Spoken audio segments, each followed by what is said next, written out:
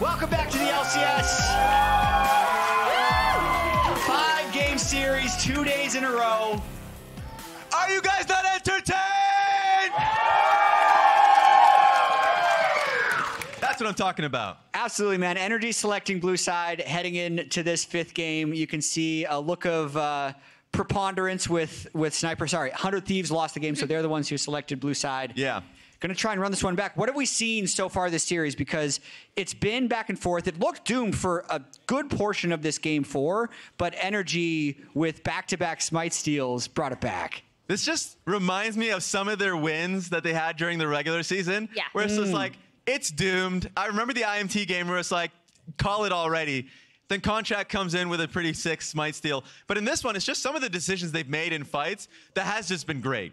Like the Drake stacking has been a big positive, and Yeah. even though with yes, there have been some tilting or some poor play from the top side of the map, I think FBI and Huhi has been remaining firm, and that has been keeping them in the series.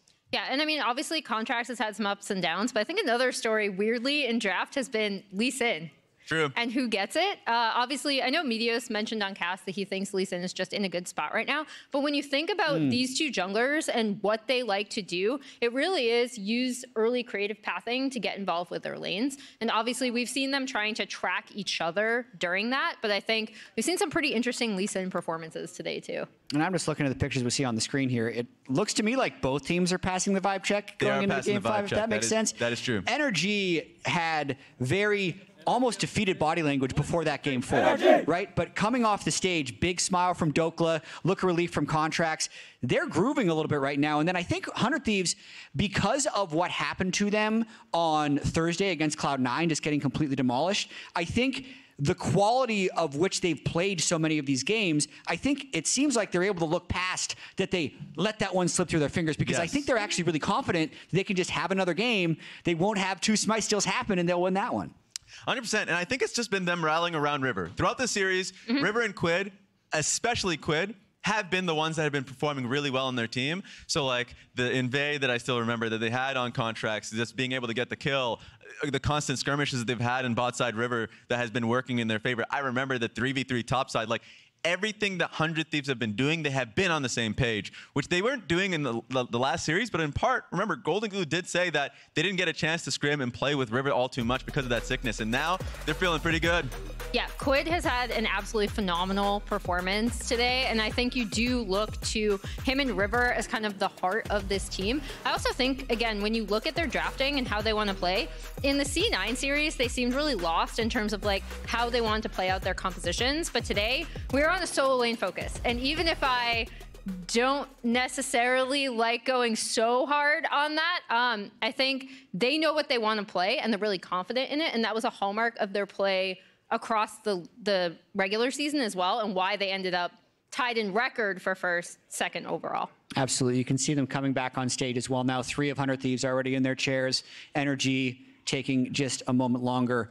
All of us predicted a five game series. Sure. Yes, we did. So good job, us. It's, it's delivered in a big way, actually. Neither team tilted. I think both teams showed up and showed some strength.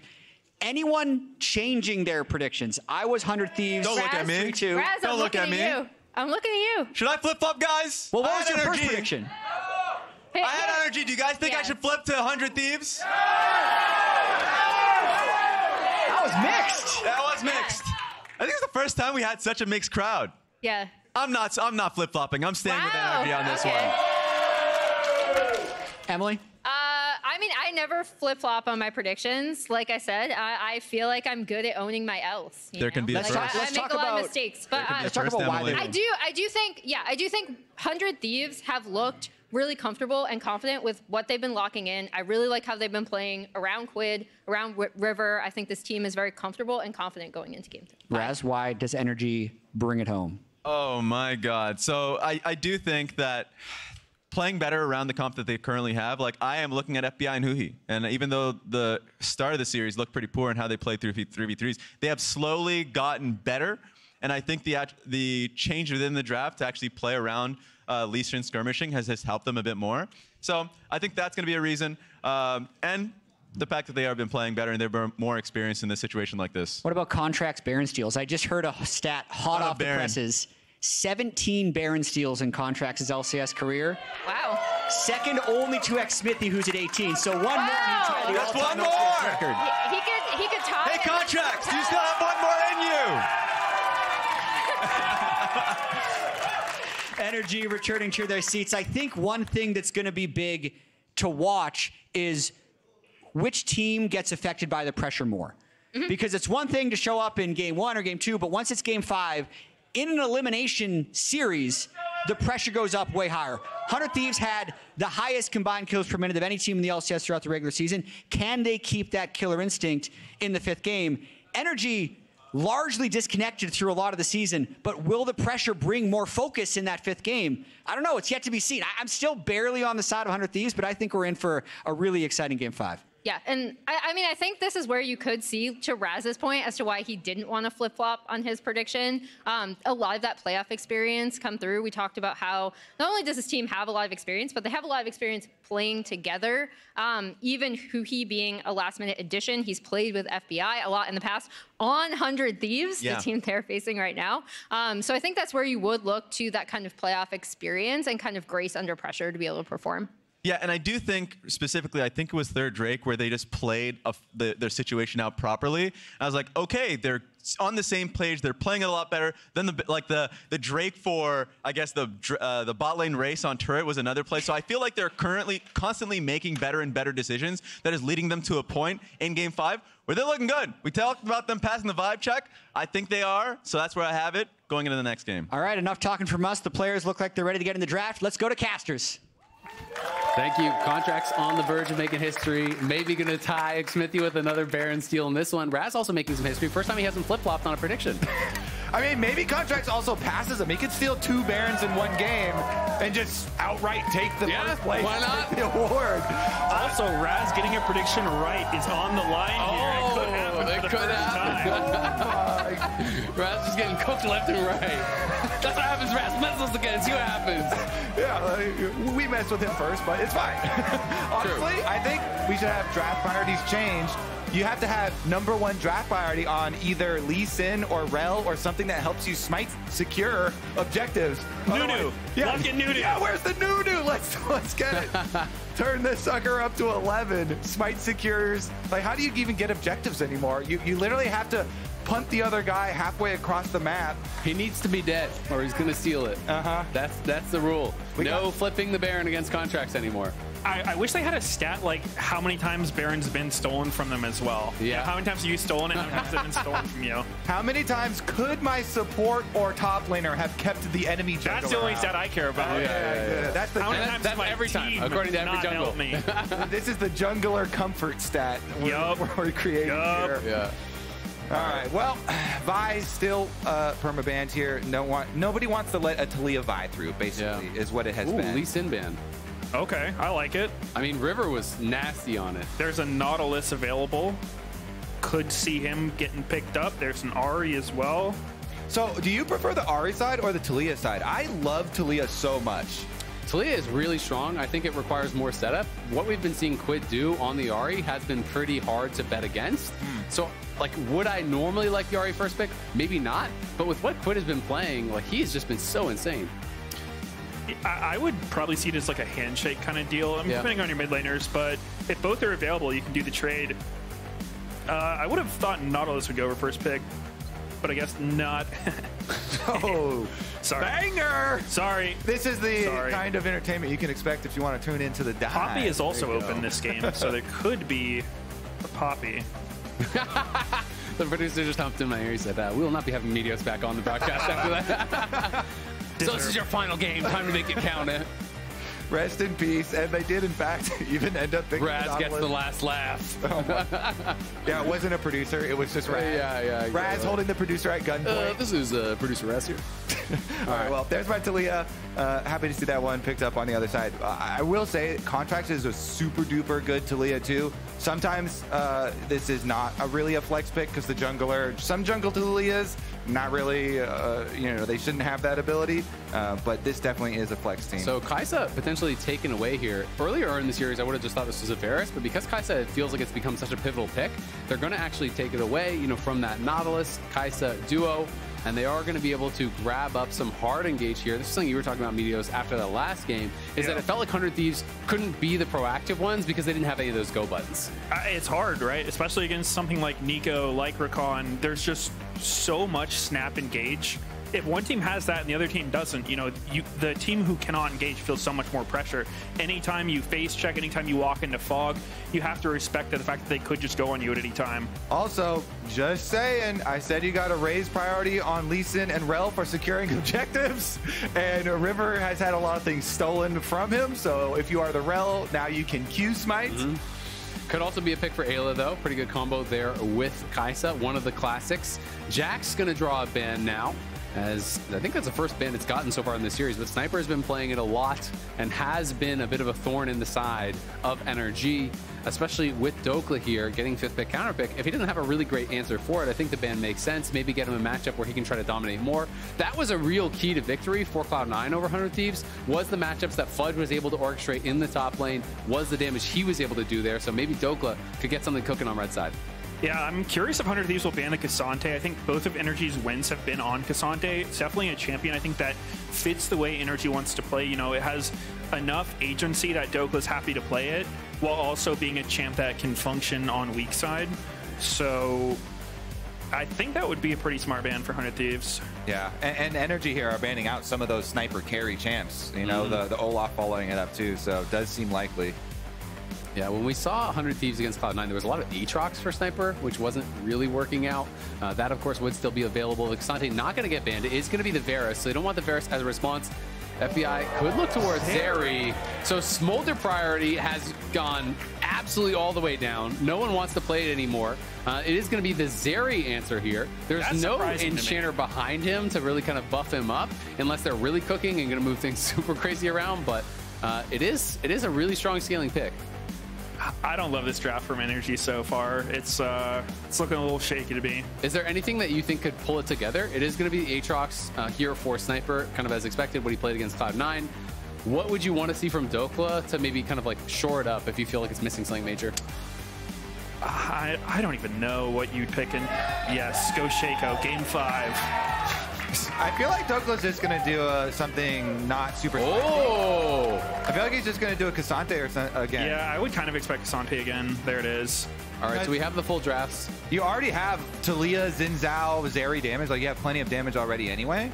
Um, but the Nocturne is a really interesting one because Nocturne with Ahri, with uh, Kai'Sa here, lots of dive potential. Lots of if the map is open Yeah. again, we've had so many of these games with with spread map, and then it's all about picks and which team is getting the first pick, and then t- tumbles into these crazy team fights. I have a lot of concerns about if FBI is going to live. Like, there is so much hard engage, so much dive. It feels like Ahri, Nocturne, Rell splashing on you, Kai'Sa's killer instincting in onto you. Um, you know, maybe the hope is that the Xin and the Taliyah are like killing everyone off as they're putting all that pressure onto FBI, but it feels like a tough game for him to survive in fights. Yeah, I think this is an insane Aatrox angle for Sniper, which would for sure have me a little shaking if I'm Energy here, because you Aatrox is good against these tanky, low damage comps, and Energy honestly doesn't have that much damage on their comp. Like, all, all their champs kind of need items to do damage, and I don't think K'Sante is a great matchup in Aatrox. Like, I think he'll do just fine in that lane. I think for sure Palafox has that's a really big game this game. Mm-hmm. That that Taliyah could be uh, extremely pivotal in if they are to win this one, and it's got to be him. All right, well, we're heading on in. It's game number 500 Thieves, Energy Kia going up against it.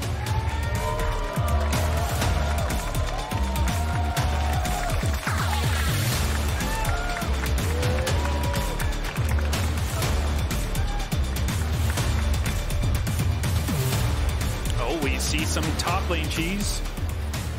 Yeah, everyone from 100 Thieves spreading out across the map, and Energy sending four members top, wanting to see if they can find any sort of a pick. Oh, they, they showed. It's just, it's just him. it's just Dhokla though. Yeah. Only Dhokla showed so far. Oh, now we got who he's shown to. Not gonna Flash on him. I like a game five to start out start out like that. I respect the attempt. I always like when people look for these these uh, level one invades, look for the opportunity. If you have the stronger level one, Also, I really like this ward that you saw uh, just be placed by 100 Thieves. This sees when you transition uh, jungle quadrants here for, for Xin Zhao, and you get a little peek there towards the lane. And after all the spicy trash talk yesterday, we get a hi-oh in chat from River. Huh.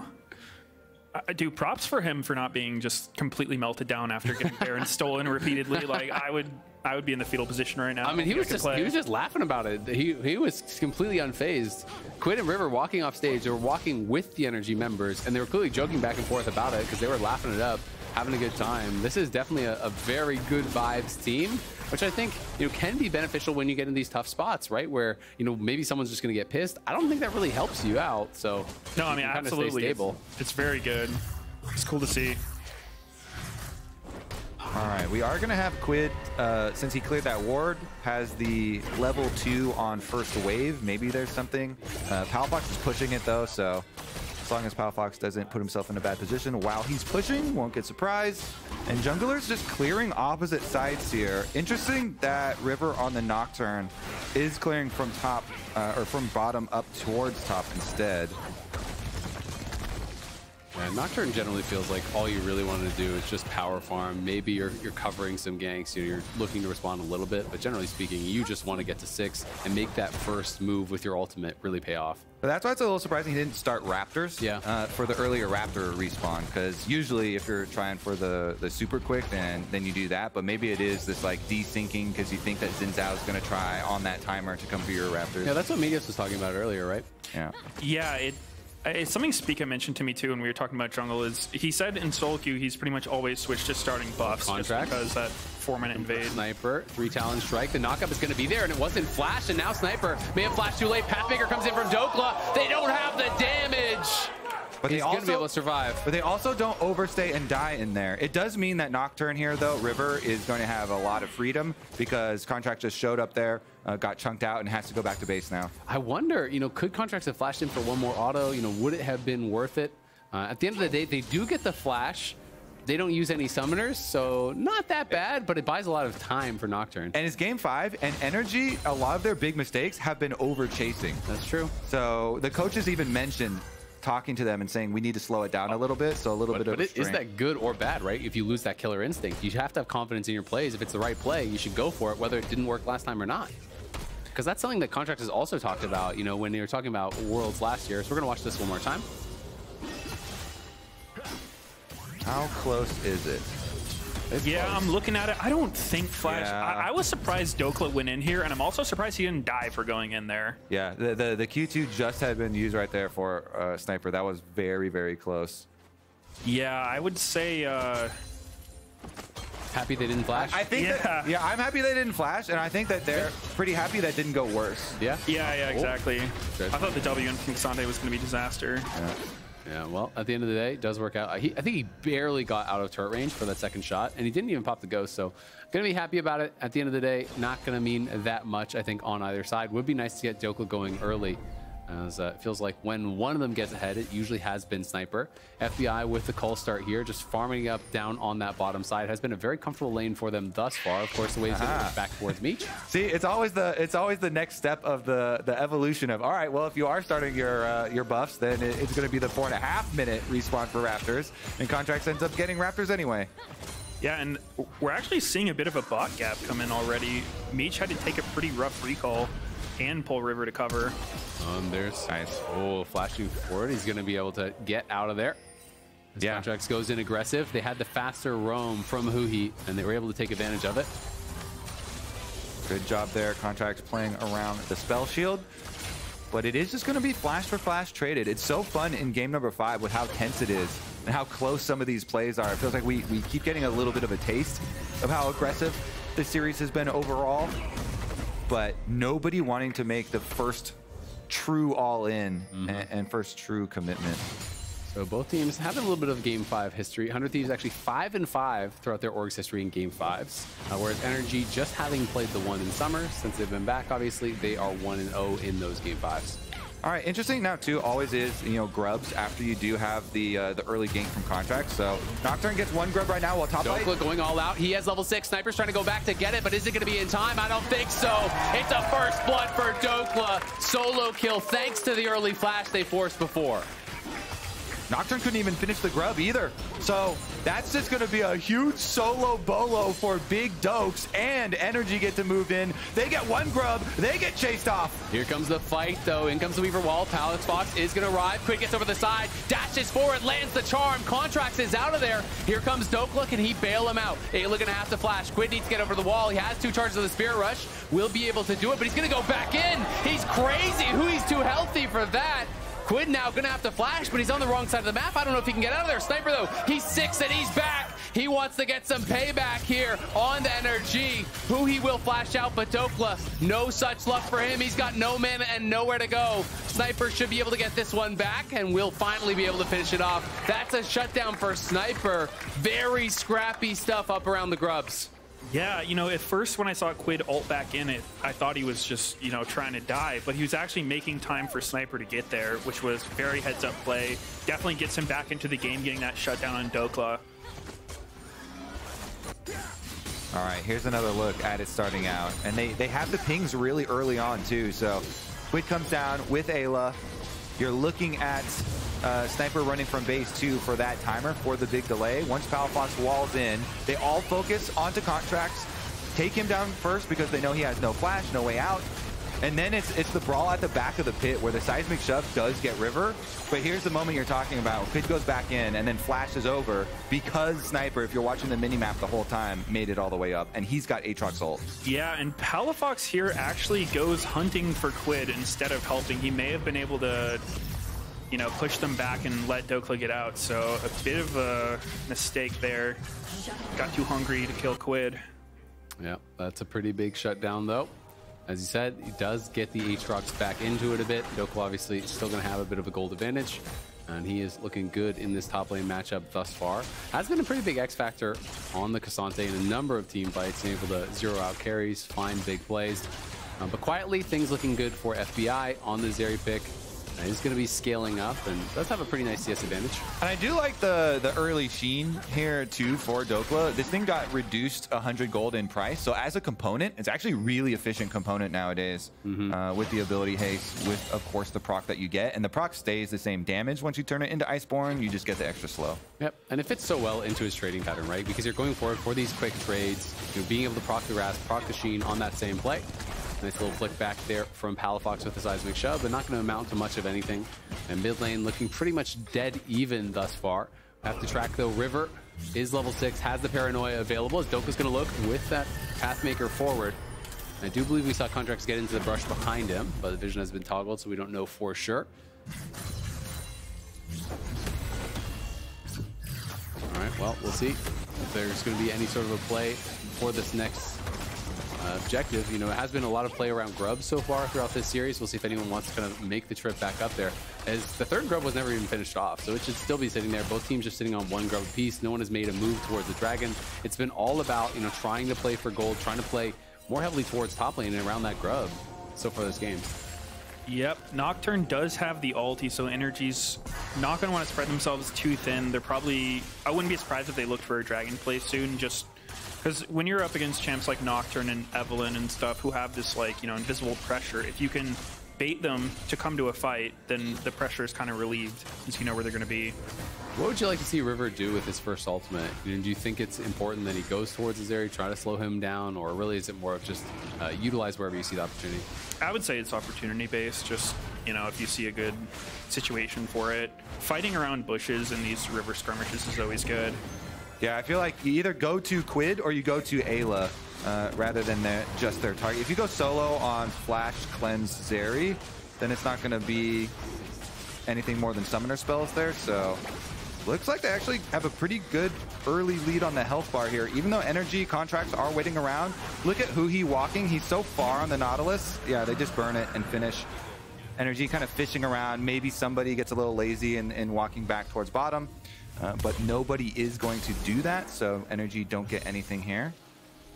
Yeah, Contractz covering the bot lane as they do push that in. Again, a lot of his job is going to be trying to anticipate where the angles could be for that Nocturne and be there before the play does break out. Of course, we know that River is just kind of power farming it up, is 20 CS ahead, as Quid making a roam up towards top lane. We'll see. I think like it's kind of been given away here as Sniper's just charging forward, so the early ghost is going to be popped by Dhokla. He is out of there. Sniper walking past those minions, you know every single time it's the K'Sante, someone's there. Yeah, it wasn't the most subtle gank. but Did get the ghost, I guess. Yeah, all for ghost trade, not the worst. Meanwhile, it is going to allow for cross-map play for energy, but there are wards that will see the cross-map play start. So right now, the wards see Contractz and Palafox moving. And so I don't think there is going to really be an opportunity since even though 100 Thieves, yeah, you know, Quid goes up topside, then, then you have kind of the seesaw effect of Summoner's Rift. They've got plenty of wards, and so the vision allows them to play safe on the other half of the map. If you look at the jungle situation now, River's just creating an advantage by farming. Like, mm-hmm. it's so much pressure on Contractz if he's not showing and he's not alting because Contractz, anytime you go to a camp, you're like, oh, is my lane going to get alted? I kind of should be there. You know, I don't want to be taking my wolves while my bot lane's getting alted. So he just ends up not farming and falling behind.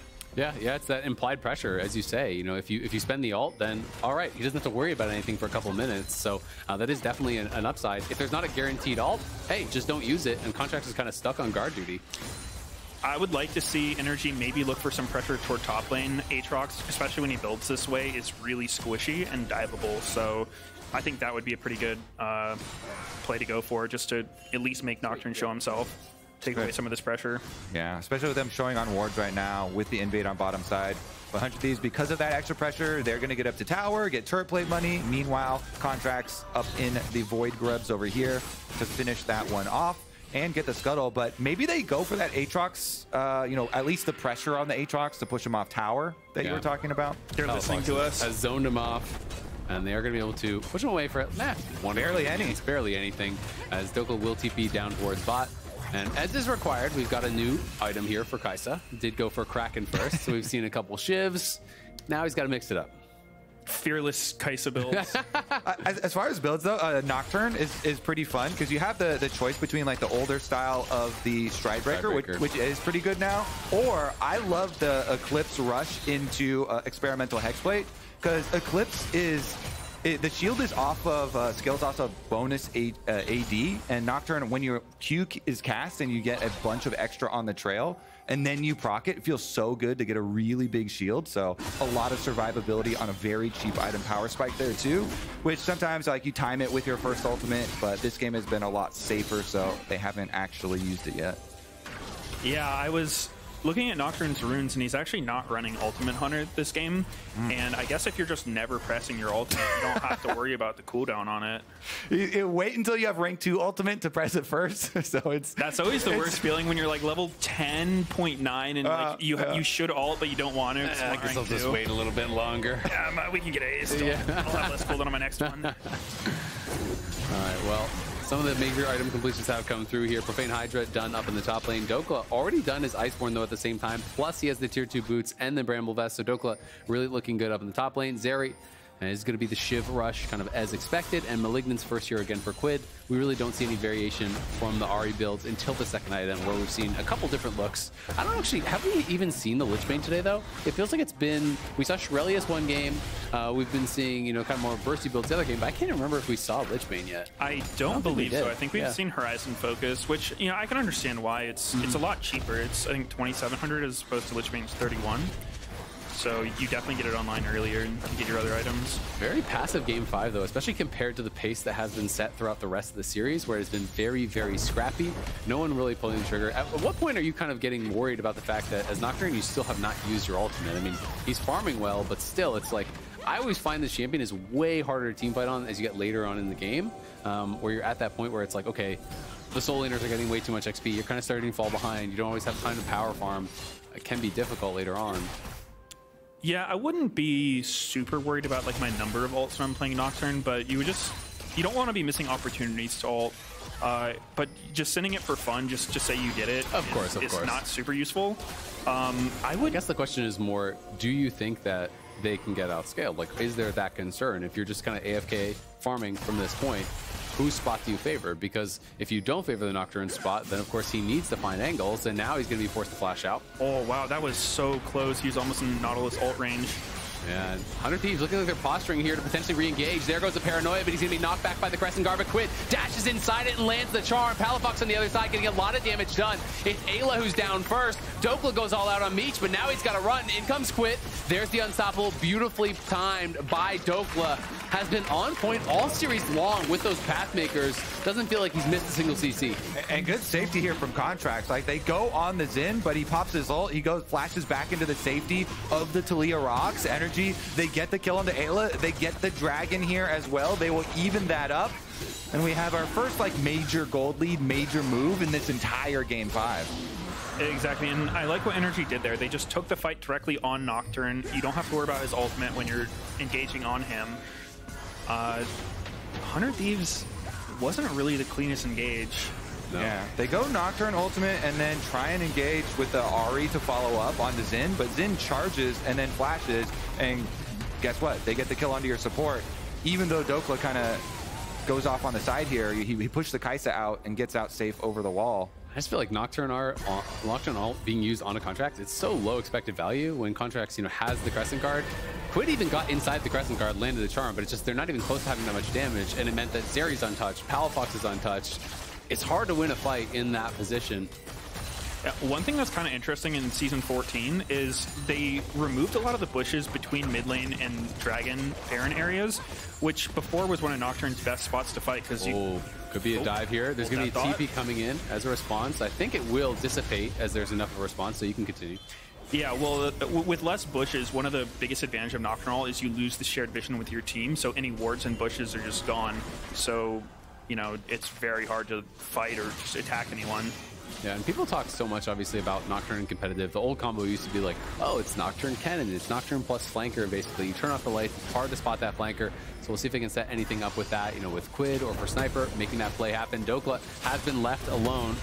100 Thieves are in the area, but it's a tough dive to make happen. He is a very tanky K'Sante at this point in the game, and Energy are rushing out of base there to cover in case of any sort of aggressive move from 100 Thieves. I, I would like to see Energy keep the pressure on Aatrox. It seems like they're kind of taking the pressure off of him a little bit uh, because he's just so squishy. You can pretty much force a play on him with any two members.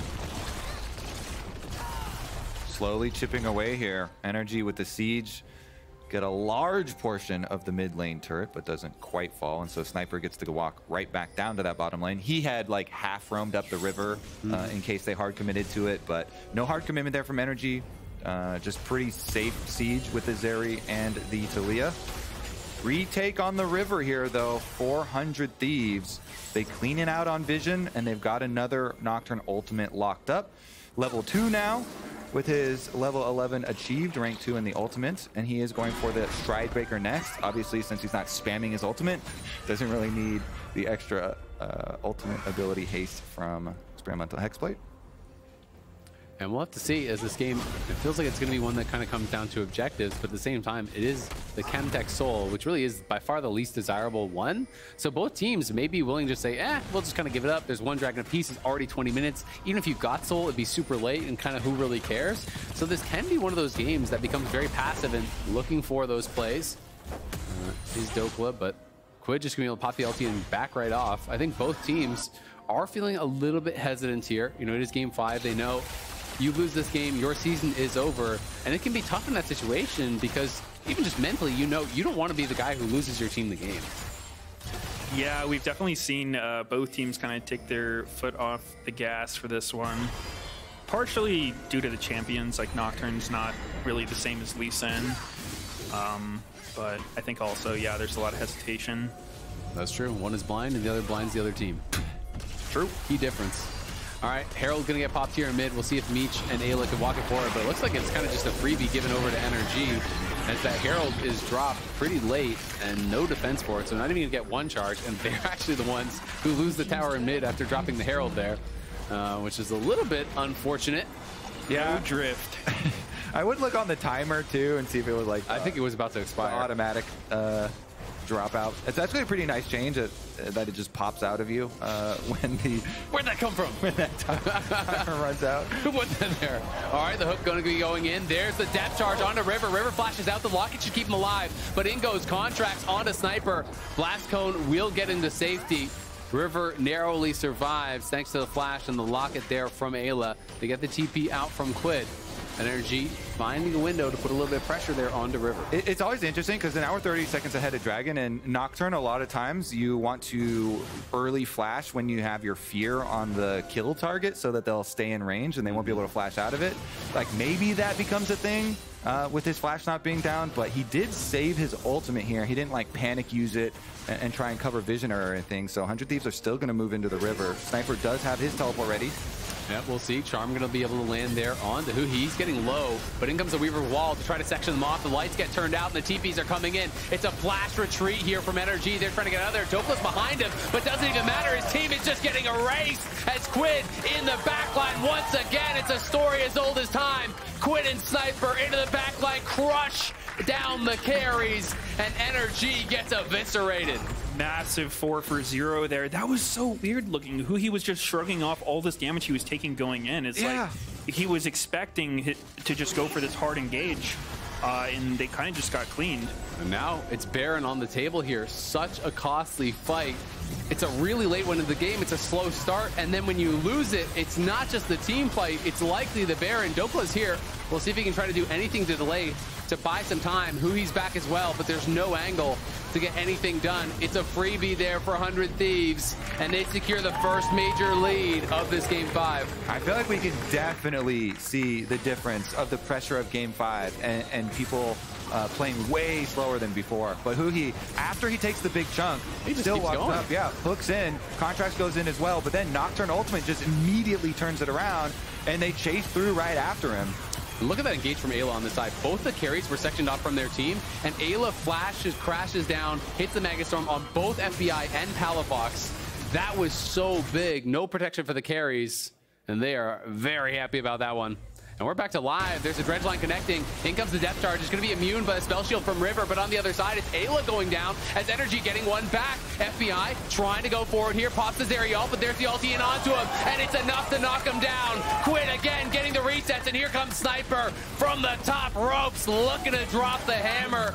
Can't find anyone on the backside, but it doesn't even matter. Energy choose the fight, but it's 100 Thieves that finish it. And since they have Baron from the previous one, they're just going to take towers now. So much gold going into their pockets. They split into the mid lane and a bottom lane push. That's one tower bot, now one tower mid. Second one bot here, going to fall pretty quickly too. Looks like it's going to be a lot of gold. Yeah, I mean, after such a tense early game, both teams kind of playing footsies. It's just completely broke open for 100 Thieves. Yeah, this is this is looking almost untenable. It's it's pretty rough to think how they're going to be able to come back from this position. You need kind of the, the Zeri moment or something, but we can watch it one more time. The dragon was secured, and they just go for the fight. Yeah, they go for the flash initiation onto the Rell, uh, and the Rell kind of bouncing back there, but Contractz moved up on the Xin, and he used his ultimate, but Fear goes off as he's uh, as it expires, and then River just uses Nocturne ultimate to the other side of the team fight, and, And the rest of the team chases. Quid had a beautiful flash charm there, it looked like, to follow up. Like, everyone piled in on FBI and just kind of 100 to 0 them at the back end of that fight. Oh, Eyla threatening potentially here for a dive. They could be one bad fight away from this game ending with Baron there, with them being pushed in, Palafox getting low, and the dive could be on the table if they're not careful. Red River definitely threatening. Yep. The Energy's hope is probably just Dhokla at this point. Uh, he's got TP. He could look for something, but with a team as mobile as 100 Thieves are, it's going to be hard for him to get a lot done in these fights. Yeah, definitely. Uh, not too many easy angles. So they're going to have to work some magic here. Energy have done so previously with some Baron steals, but 100 Thieves still wearing the previous one and just pushing in is, is so much pressure so early into the game. We're, we're barely at 25 minutes Yeah. here. This this this pace for this game just exploded. I feel like we are for sure just seeing so much of a difference though of the the game five kind of the effect on your mentality. Absolutely. I mean, that one team fight just went so bad for energy. And when that's the first one that you pick and it's post 20 minutes you lose the Baron off the back of it, it is really disheartening.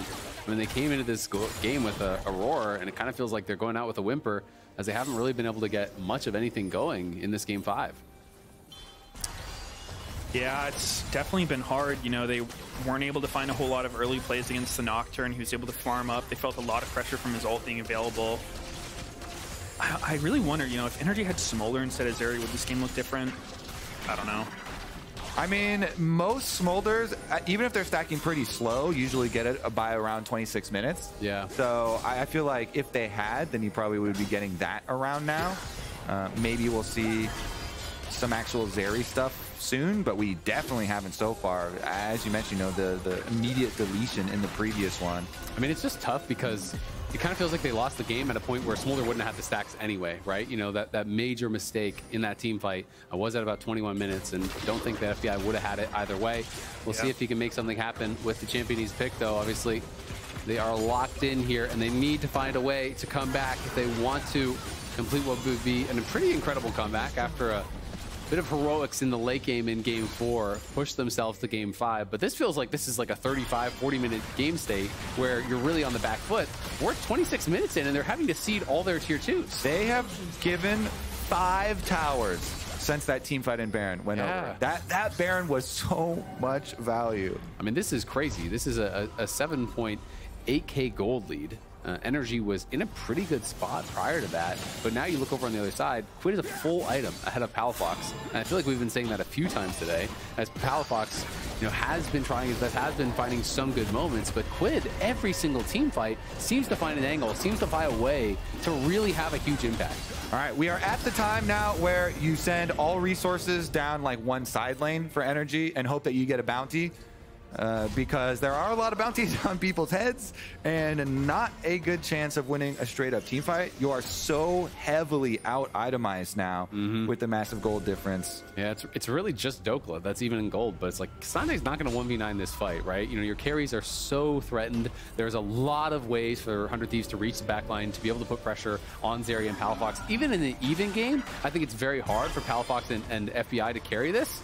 But when you're 8k behind, it's just so tough for FBI to actually be able to stay alive long enough to get value out of this area. Contractz is going to need se- several Baron seals. All right. Here's one coming in. He's slithering up. There. Yeah, he's setting himself up to break Xmithie's record in this one.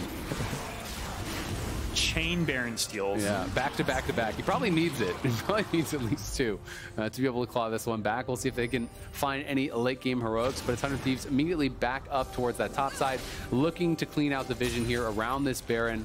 It's something they can definitely threaten. I mean, this is on hit Kai'Sa. It's actually Blade of the Ruined King coming in, which is a little bit surprising. Um, but definitely high amount of on hit, really high DPS. They can crush this Baron. And it's so it's so annoying too with Verdant Barrier, like a component giving Oh, you the maybe getting Oh. caught. Dhokla's gonna look here. Do they force it? There's the killer instinct used defensively. Paranoia gonna get popped. Dhokla's gotta run. As they will pull back. World Ender has been popped, and in goes River, and he's on to FBI. He's trying to finish him off. FBI trying to cut it out. The blast cone will keep him alive, but Dhokla in the midst of everyone. Huhi about to go down? Dhokla trying to pull off a miracle. Meech barely surviving, but Meech is down to Dhokla. And on the, the other side, River is still fighting, but he's gonna lose out there. Sniper going forward. Sniper and Quid will finally take down Dhokla, who tries to go for something heroic, does at least get one, but at the end of the day, it's one for two, and it's 100 Thieves marching on the Baron. Yeah, and Contractz is marching over for the steal. The, It's the, time. The foretold steal. Here he comes. We'll see. He's got no wards in pocket. He has a sweeper. He's got no vision. He can W it. He's gonna have to try to W over the wall, see if he can find something. There's the blue Whoa. trinket popped. He saw it, but I don't think there's any sort of an angle. He doesn't think there is either. 100 Thieves claim the Baron. Scrappy fight there that Energy chose, but now it's a 10k gold lead. Award goes to Eyla for going over and actually keeping him out. Another uh, another look at this one though, because Dhokla does end up taking down Meech uh, in the backline here, but look at the escape from Zeri. Quid jumps in with his ulti. It's the flash from Sniper, and River tries to follow, but the super blast cone barely uh, gives him his life back. FBI took so much damage there immediately. Aatrox flashed in on him as soon as Nocturne him with the ulti, and he's just out of the fight entirely. That's what I mean. When you're that far behind, it's like, how, how do you team fight? Nocturne all plus like a barely a little bit of damage. Quid didn't even get back there on him. Uh, and he is just out of there. Dhokla maybe just going to try to take this fight. I mean, you've got to go for desperate plays now. Desperate times call for desperate measures. The light's going to get turned off. Everyone coming in here from NRG, but at the same time, here comes the cavalry from the 100 Thieves side. The World Ender's going to get popped. Sniper gets scooped back into the team, but will just dash over the wall. It is the disengage. They do at least force a couple ultis. That's Aatrox and Nocturne with no ult.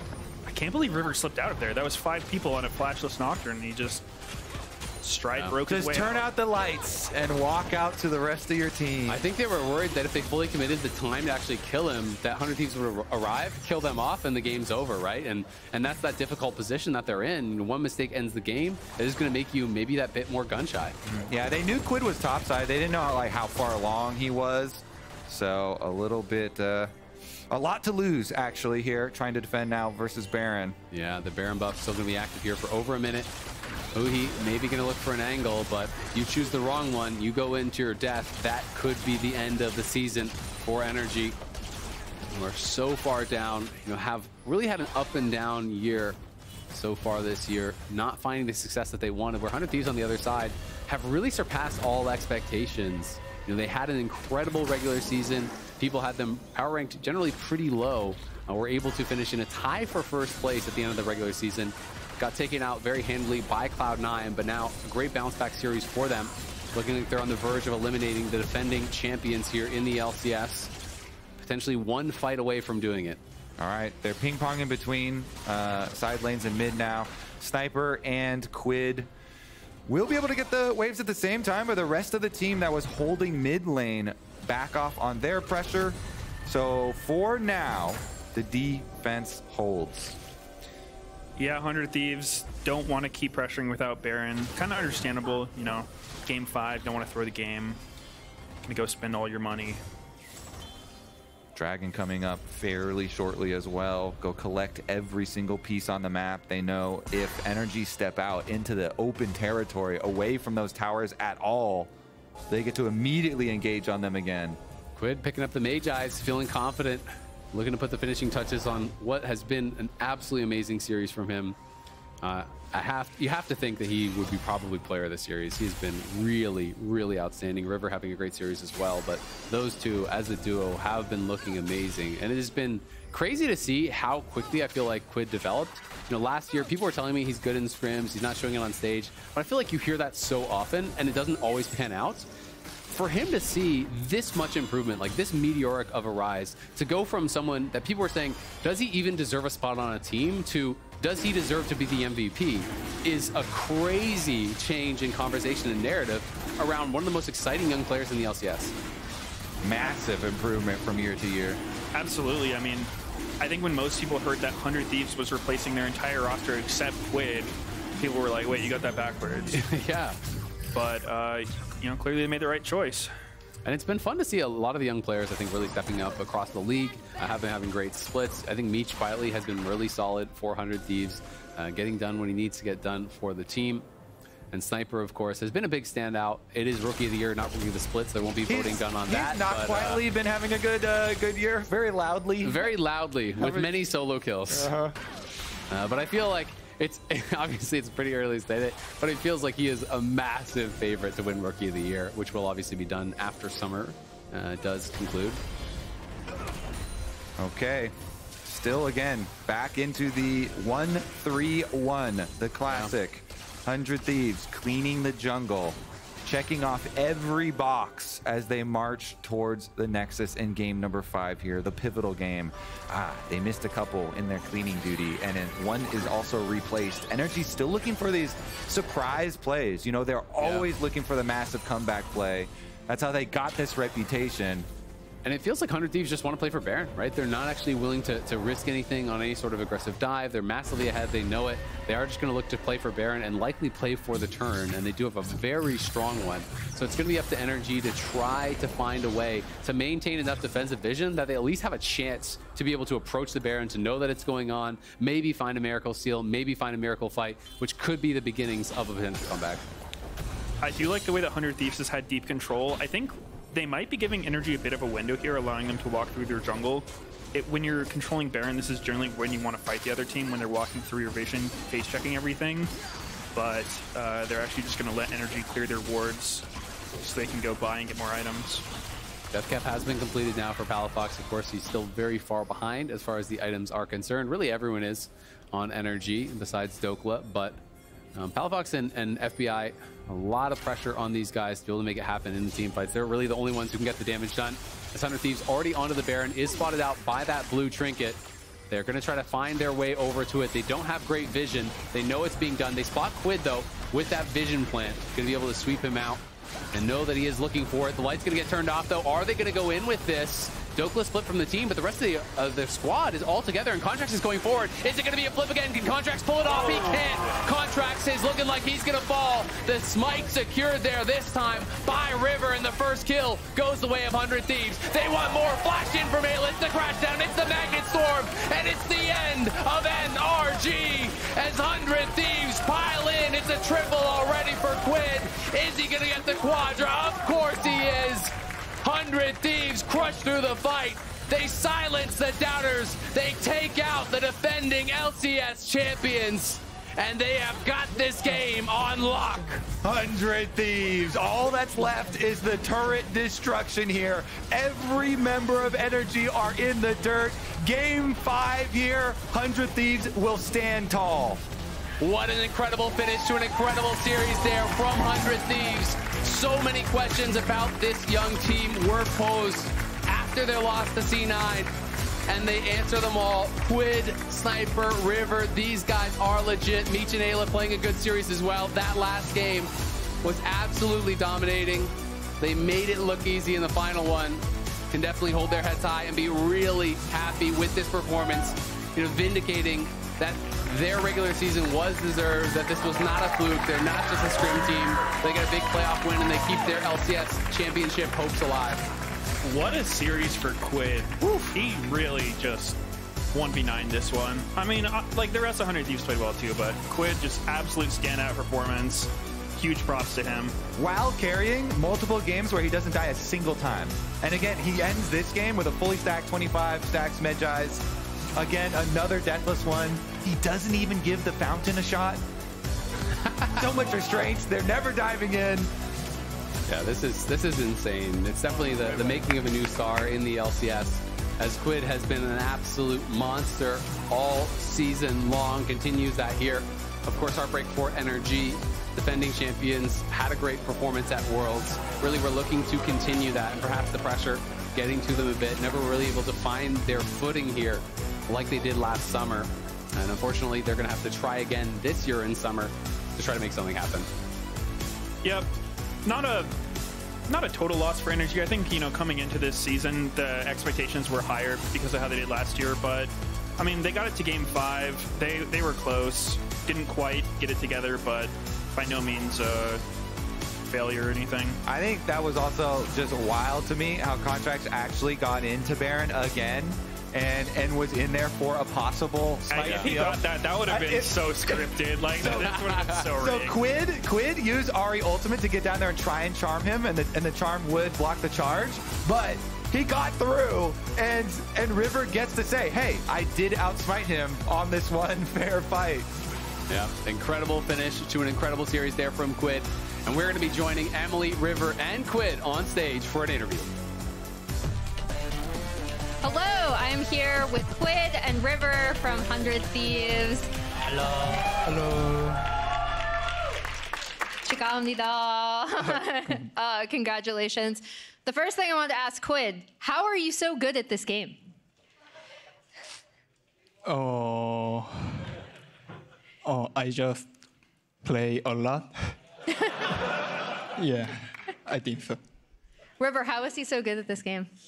Uh, Ahri's Quid's champion, so he's really good at Ahri. So So it's just the Ahri? yeah, just Quid is good. Uh, Quid, I did just find out you're a player of the series for your team, so congratulations. Oh, thank you. Um, you had a really tough loss to C9 uh, a few days ago. How did you guys recover?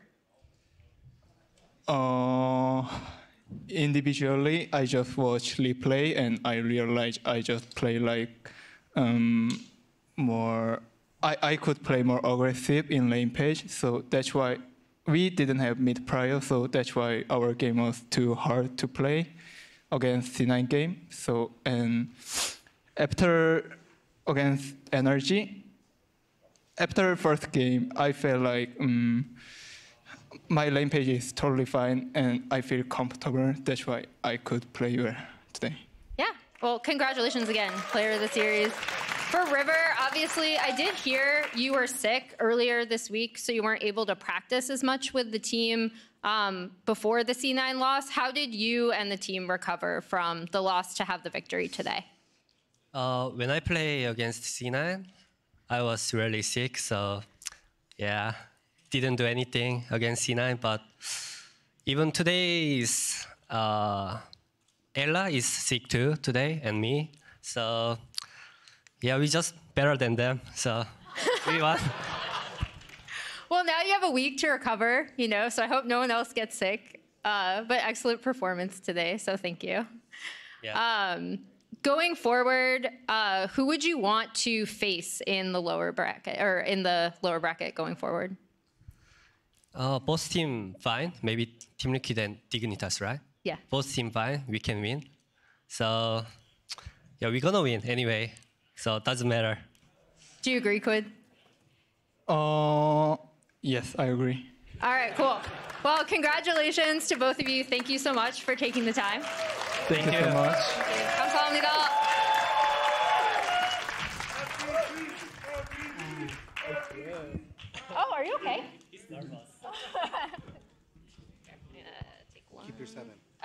Keep your seven.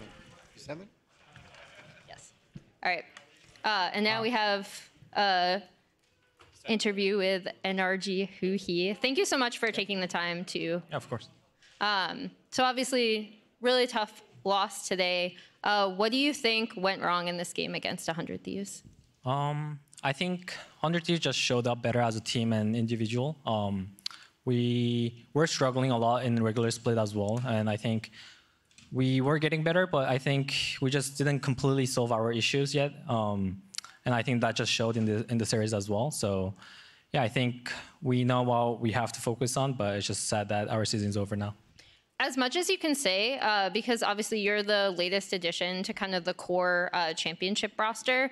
Um, what was the kind of internal vibe on NRG Lake, and what was the most difficult thing for you guys since you had to really kind of you had some really really high highs as well, um, and then obviously some really tough losses. What was going on internally? Um, I think when I first joined the team, it was a bit hard for me to like kind of get used to it um, because they just won LCS championship and also had a really great showing at Worlds. So I think the external vision and the internal, like I was just trying to like kind of fit into them. Um, but after the break, I think uh, we just lost a lot of skills that we had, and we just kind of failed to maintain like from the previous season. So like we kind of had to start from the beginning, and that just took a bit of a time, and uh, yeah, it just ate up some time. And then going forward, what do you think the thing you've improved on has been the most uh, that you can carry into Summer Split? Um, I think just kind of like playing uh, right now. I think with my team, we are playing different style than I'm used to. So um, now I have a better idea, um, and my team also has a better idea how to play around me as well. So I think we're just kind of kind of get, getting used to each other still, um, and I think just that will change a lot for the next split. All right. Well, thank you so much for taking the time. Again, I'm sorry about the loss. And we'll throw it back to the analyst lounge to close out the day. Thank you, Emily Huhi. But we have Sniper, Yeah. solo kill master, solo kill leader still. Yep. Do you know what your record is when you get a solo kill in a game? Well, what do you mean by like my record? At the Yeah, so like game? how many, what is your win loss when you get a solo kill? Uh, I'm pretty sure it's like 85% or something like that. Damn, that's oh really my close. God. It's seven and one. Wait, I'm seven yeah, and seven and one when you get a solo kill. Yeah. Yeah. yeah. That's 85%. That's pretty close, yeah. I mean, it's I can't do that exact can't do that math. That's it's not up to 80, me. Isn't it like 82 and a half? Oh, now you're 87 trying to do that. 87 and a half, I'm just told. Close. Oh, okay. okay, Um, okay. I heard quickly that you were you typed something uh, in a 2v1 situation that you were in topside. Can you elaborate what happened up there? Uh, yeah, I mean, okay. so after I solo killed them in the Jax versus GP matchup, Okay. second game, um, they decided to like dive me top with, I think it was it was like Ahri, Zinzal, and Jax even. Yeah. Yeah. And then I, I like kind of dodged the Ahri charm, and then we killed Ahri and Xin Zhao. Yeah. And after that, I was like, Twitch.tv slash General Sniper. as soon as like I solo killed them and yeah, did everything. And that was it. The series just ended right there. We didn't actually end up playing all five games. Um, so, how do you feel now with this victory? Because it's probably been a whirlwind like three days for your whole team with the C9 series into only having one day to prepare and potentially being eliminated to actually clutching up and winning the series to move on. Uh, I mean, it definitely feels good, but I- still feel like I'm not playing as good as I was during the split. Okay. Um, I mean, I I don't exactly know why, to be honest. Like, Mm. I don't even like feel that nervous before the game start. So I think as soon as I like fix the issue on like j- just how kind of like bad I've been playing recently, I'll yeah. Well, we're gonna beat whoever we play next. And do you feel a difference between, of course, like the best of ones, regular season, you get on stage, you play against, of course, like just one team. A lot of times people don't practice against a specific team, but like the difference between the feel in game playing in a regular season versus playoffs. I mean, the Cloud9 series, I definitely felt like that, where like, well, like a best out of five is really different than just playing a best out of one. Um, so as soon as I got like that experience, I quickly just like adapted to it, and we ended up winning the best out of five. True. Makes sense. Yeah. So yeah. How does this align with your? I know I talked to you at like the very start of the split. How does this moment right now align with your expectations of where you'd be in your first split of LCS? Before the split started, I was definitely like kind of 50-50 about how I was gonna play. Yeah. But as soon as we started winning, I knew that like we, we could actually we have a chance at winning it all. Yeah. So it's definitely better than I expected it to be. Mm, that's great to hear. So we got we got player of the series. Uh, who, who do you think it is? Let me guess. Quid River, Quid River. One of those two, you know. Yeah, it's Quid. Yep. He, he did pop off this series. in 18, all 2, and honesty. 21 I actually this think it's more. That's only in the three wins because he you're had a bunch of kills in the losses as well. That's you true. can see on the lower left there. That's uh, in the three wins: 18 kills, two deaths, 21 assists. The speed Vagar. I got a question for you actually. What happened to the Smolder in this series? Because it looked like Quid pressed R on it in game two, and then no one picked it the rest of the series. I'm not even sure to be honest. I, I have no idea why like Smolder wasn't played anymore after the second. Fair enough. I mean, Quid definitely popped off in so many ways. What's the energy like with those two, Quid River, Quid River, in game for you? Because I know probably at the start of the split, you maybe were worried about a language barrier, but they just did a full English language interview with Emily. How is it during games? I mean, they've been amazing, honestly. Like, I couldn't ask for better teammates than what I have with uh, Quid and River, and I, I mean, they just work so well together. They have like the the Korean synergy, and they've just been doing so good. Now, a question I have for you, because this series was definitely wild. I don't know if this is what you kind of expected going into it, that energy would be so close. But uh, there were some losses that you were taking that I was like, ooh, like, how can they reco- recover, right? Yeah. Um, but you guys were easily able to recover going into game five. Like, is it something that the coaches say? Like, generally, how, what's the vibe going back into uh, the team room in reviews and just like, how are you guys able to basically keep a calm mental overall? I mean, after game four, like, I honestly thought the reason we lost was because of me. Mm-hmm. So I expected like some criticism, but nobody cared. Like everybody just moved on. They didn't care that I like threw the game. They just were like, okay, just go next. Yeah. We'll win next game, and yeah. What what happened in game four, actually? No, I just. I mean, okay, so the ending, like, instead of just playing for the team fight and zoning out Lee Sin, so we got Baron. Right. Hmm. Okay, that that's the moment. You're not talking about the general game. We're talking about the very end of it when there's the Baron flip. Yeah, basically, yeah, yeah. Okay, that makes what I was sense. Is that? Do you like that? Because I feel like a lot of the times, if you like, if you if you feel like you messed up and you go to the back, you're like, someone please say it. someone please point it out. Yeah. Uh, or do you uh, like the vibe that people are just pushing on to the next? Uh, the, the first one, I think, like, mm-hmm. people just directly giving me, like, feedback. Yeah. Definitely helps me more, like, just becoming, uh, I guess, like, a stronger player. Yeah. So, yeah, it just felt weird that nobody said anything. Tell me the vibes of the coaches because they, we always get a glimpse of the coach cams Yeah. during the game. And Spooks in particular is just like a roller coaster of emotions. I don't know if he hides it after a game. Um, let's like talk to, talk to me about like what they say in between games. Like basically, what are the reviews like going back after a game during a series? Mm, And are they calm? I'm, ex- I'm assuming that's the case. I mean, they're extremely calm. I think uh, both, like, Spooks and Goldenglue. Yeah. Like, I also couldn't ask for better coaches than these two right here. They just, like, keep everyone's mental together, and they kind of just, like, I don't know. They're just like perfect coaches. I, I don't. I don't really know what to tell you. You know, They're they always have good energy and good vibes. Love your energy as well. Here's the bracket for the rest of the playoffs. 100 Thieves has eliminated NRG. We will not have defending champions. Thanks, General Sniper. So you're you're going to be playing the winner of Dignitas TL on Friday. Important to keep that in mind. Next week's playoffs is going to be on Friday, Saturday before Fly Question C9. So five teams remaining. Really great to have you on here. Congratulations on the win. And I don't think, I mean, I don't think you threw game four. I can understand why they wouldn't figure it out. There's a lot, there's a lot that happened in game There's four. a lot Maybe it was a mistake. There's a lot of mistakes in that game. So Yeah. congratulations once again on the five game victory. That is it for us. We're going to be back tomorrow at 4 p.m. Eastern, 1 p.m. Pacific for Dig versus TL. So let's send it over to the LCS Challenger stream. Good night. Bye.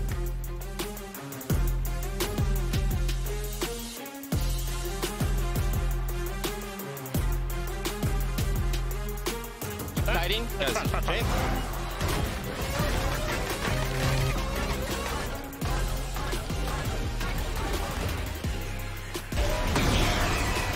Where did he go? I'm looking, I'm looking, I'm looking. Yeah, it's Leon flash, Leon flash. Penta, Penta? Yeah, Penta, Penta. Give me the Penta, give me the Penta. Penta. Give me the Penta. You hit these. Nice, nice, Nice. nice. Wow, Penta kill. The tower only has one hit, but they don't even need it. There's the encore coming out there from Eyla, trying to actually root him up. Not going to be able to do so, but Dhokla is going to fall. No way out for him. NRG are gone. 100 Thieves.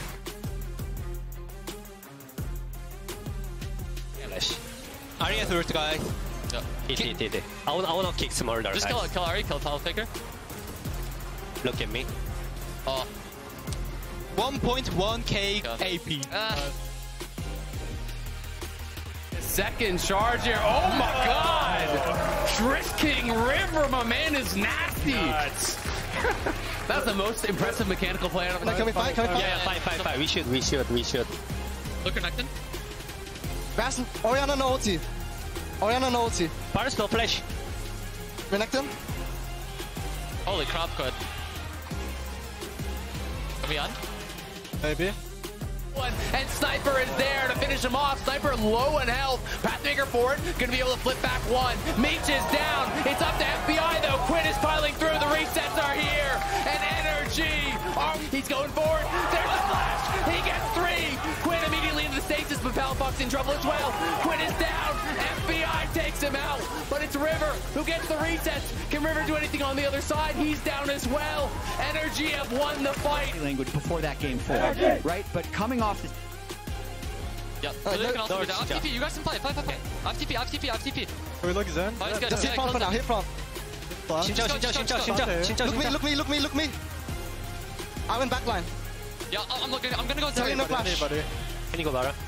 Go Barra, go Barra, go Yeah, Barra. go back. Yeah. Ah, I missed. Nice. Oh. Maybe look Nautilus? Look me. I'm gonna look his area. There in a flash. Yeah, kill Taliyah. Nice, guys. Give me penta. Nice. Wait, Penta, Penta? Oh, Penta? red, red Penta, card. penta, penta, penta, penta, penta. See you soon. You guys carried me. Nice. That was fun, huh? Yeah, yeah, actually. Jojo, Jojo, Jojo, Jojo. Next time, don't play like. Yeah, yeah, yeah, yeah. We need to be. We, we could be more Yeah. aggressive. Uh, we- we- Nice. Oh.